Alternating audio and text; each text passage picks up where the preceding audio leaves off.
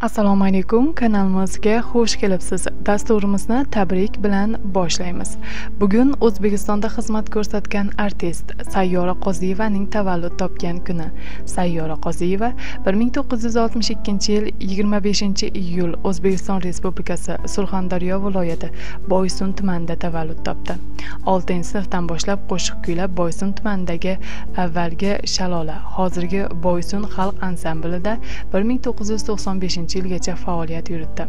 1995 yildan boshlab toshkentda o'zbek navo hozirgi o'zbek konsert birlashmasida faoliyat yuritib kelmoqda. 1990 yili o'zbekiston kamolot yoshlari mukofoti laureati.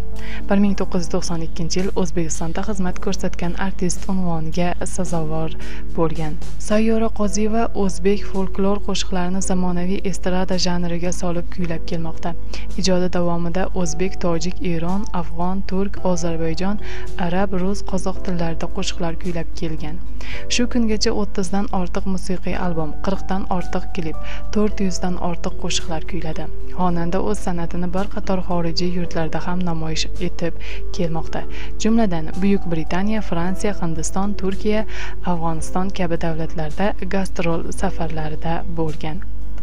Kanalimiz nomidan sayyora qoziyevani tavallud topgan kuni bilan chin qalbimizdan tabriklaymiz.